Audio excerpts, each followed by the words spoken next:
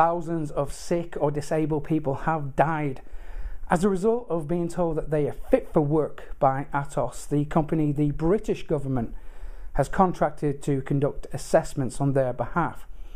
Atos decides if a sick or disabled person who claims state benefit is actually in need of support, but their assessment process has come under fire due to the fact that 32 of the most vulnerable people in society die every week due to starvation, neglect, homelessness, and suicide. According to the government's own figures, to 1,300 persons dying after being put into the work-related activity group, 2,200 people dying before their assessment was completed, and 7,100 people dying after being put into the support group.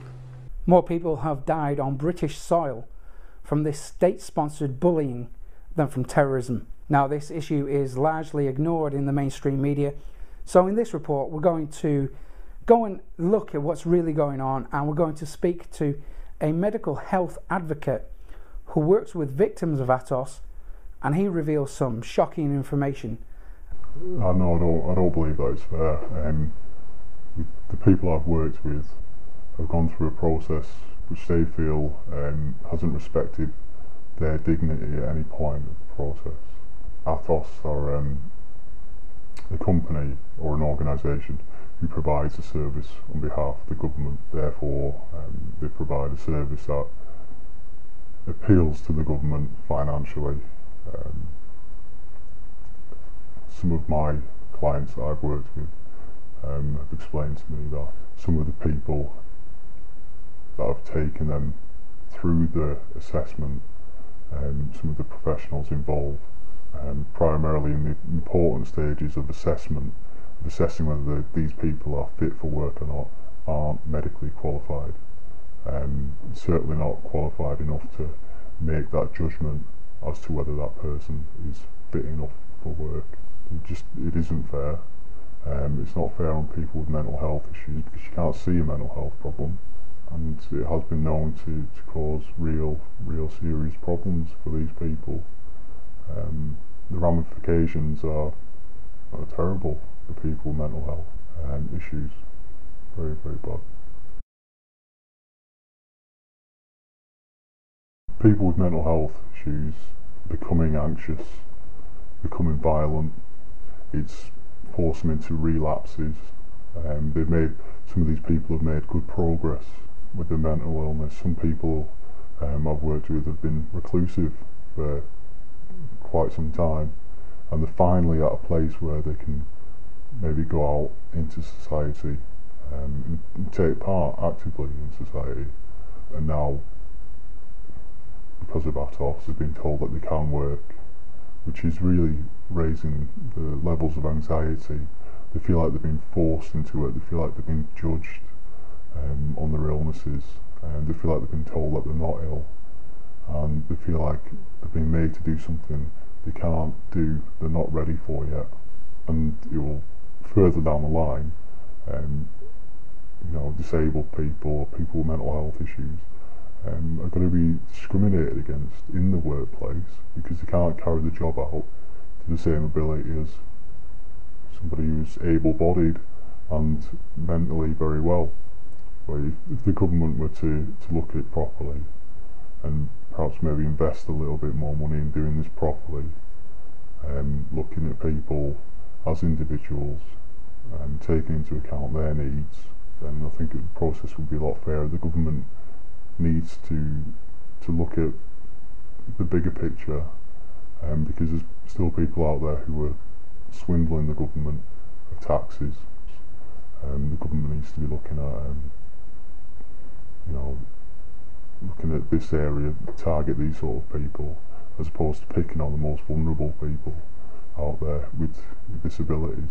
And that's what Atos essentially does. Um, and that's, that's, what a lot of people who I work with feel. You know, they feel that Atos is picking on them um, because they're very vulnerable. Yeah, yeah, okay. Yeah, and I can't go into too much detail about that, but yeah, and more than once. know, as a result of the assessment process.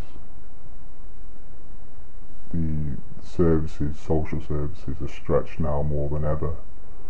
Social workers are now working to two to three times their capacity um, as, as to what they were working a year or two ago. The services have been cut, there's cuts all over the place.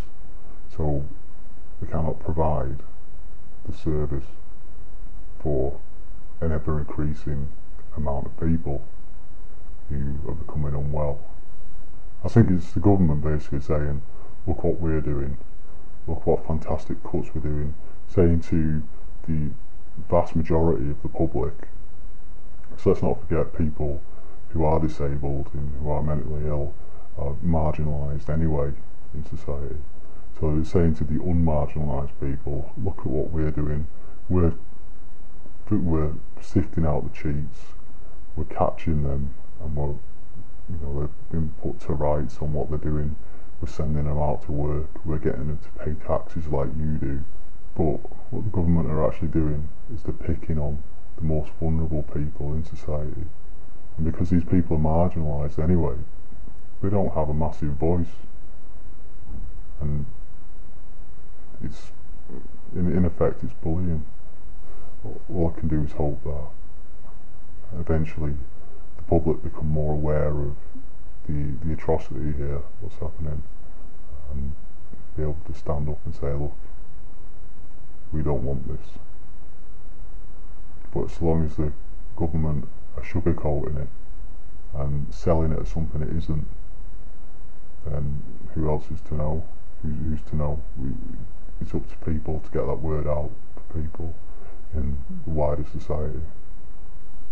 Um, personally, I feel that um, it's, it's a travesty and things are happening to innocent people, vulnerable people who rely on the welfare state, people in the wider society, um, aren't getting the opportunity to actually see what's going on. And I think if they could see what was going on, they'd, they'd be up in arms about it. And it's not just the healthcare professionals who are concerned. Tory MP Charles Walker, chair of the Procedure Select Committee, said Atos is now so discredited that we should park it on one side and go off again in a different direction. Also, Katie Lane, head of welfare policy at the Citizens Advice Bureau, told the Mirror there seems to be a clear link between the cause of death and the condition they were suffering from that led to the claim. We have always supported the idea that people who could work and want to work should be helped to do that, but we are seeing a lot of seriously ill and disabled people being found fit for work. We have serious concerns about whether the test used to decide if people are fit for work is the right test. In November 2012, leaked documents seemed to suggest that Atos had made misleading statements about proposed cooperation with disability groups to help secure a £400 million contract to perform disability assessments. Atos had named four organisations as possible partners, despite having no contact with them. The charities strongly object to any suggestion that they plan to cooperate with the company. Speaking to The Guardian, Anne McGuire, the Shadow Minister for Disabled People, said these revelations raise extremely serious questions over the 540 million PIP contracts. There is now clear evidence that Atos won a 400 million contract with a bid that was misleading. She said, There must be an immediate investigation because the integrity of the entire process is now in serious doubt. Ministers must now explain exactly how these claims got through unchecked.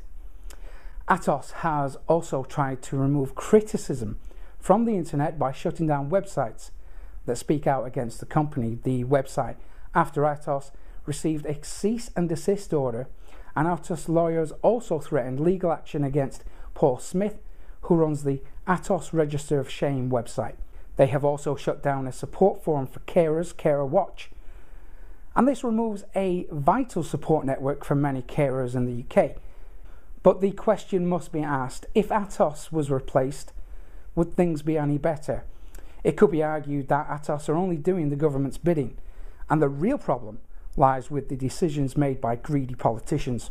However, before we finish up, I would like to remind any of Atos's lawyers watching this that this report is protected by Article 10 of the European Convention of Human Rights, and we will not be bullied into removing this information without a fight. And that's why I urge you, good people watching this, to download and mirror this report on YouTube by using services like keepvid.com.